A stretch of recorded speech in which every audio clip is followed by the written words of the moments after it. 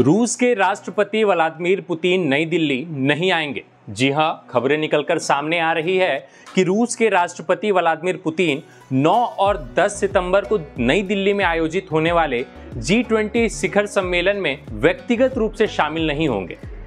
आपको बता दें कि क्रेमलिन के प्रवक्ता ने यह जानकारी साझा की है। उन्होंने बताया कि भारत दौरे को लेकर राष्ट्रपति पुतिन की ऐसी कोई योजना फ़िलहाल नहीं है।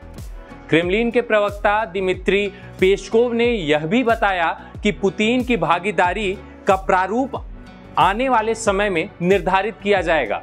आपको यह भी जानकारी दे कि जोहानिसबर्ग में हाल ही में समाप्त हुए ब्रिक्स शिखर सम्मेलन में भी पुतिन व्यक्तिगत रूप से शामिल नहीं हुए थे। उनका प्रतिनिधित्व रूसी विदेश मंत्री ने किया था। राष्ट्रपति पुतिन ने कोविड 19 के बाद हुए पहले प्रत्यक्ष ब्रिक्स शिखर सम्मेलन में भाग न लेने का फैसला किया, क्योंकि अंतर्राष्ट्रीय आपराधिक न्यायालय आईसीसी ने यूक्रेनी बच्चों को रूस में निर्वासित करने की एक कथित योजना को लेकर मार्च में उनके खिलाफ गिरफ्तारी वारंट जारी किया था। दक्षिण अफ्रीका आईसीसी से जुड़ा हस्ताक्षर करता है और आशंका थी कि वह पुतिन के आने पर उनकी गिरफ्तारी कराने में मदद कर सकता है। इधर बात अगर जी ट्वेंटी शिखर सम्मेलन की तैयारियों की करें तो दिल्ली पुलिस जी ट्वेंटी शिखर सम्मेलन के लिए सुरक्षा कवायद के तहत किसी भी अफवाह फैलाने वाले या भड़काऊ पोस्ट को रोकने के लिए सोशल मीडिया पर नज़र रखेगी। आपराधिक तत्वों की पहचान व जाँच करेगी और शहर में मॉल, बाजारों व धार्मिक स्थलों पर ध्यान केंद्रित करेगी। इस संबंध में एक अधिकारी ने जानकारी देते हुए यह बताया कि राष्ट्रीय राजधानी में अनुचित प्रवेश को रोकने के लिए सभी सीमाओं को सील कर दिया जाएगा।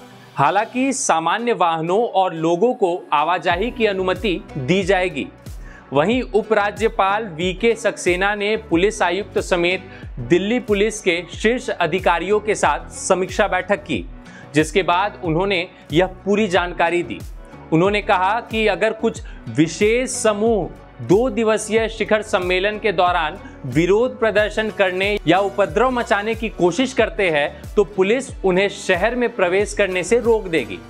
राजनिवास के अधिकारियों ने कहा कि बैठक के दौरान उपराज्यपाल को सूचित किया गया कि अगले महीने जी ट्वेंटी शिखर सम्मेलन से संबंधित विशिष्ट कार्यों की निगरानी और प्रबंधन के लिए 60 पुलिस उपायुक्तों को दायित्व सौंपा गया है। प्रभात खबर डॉट कॉम, विश्वास वही, रफ्तार नहीं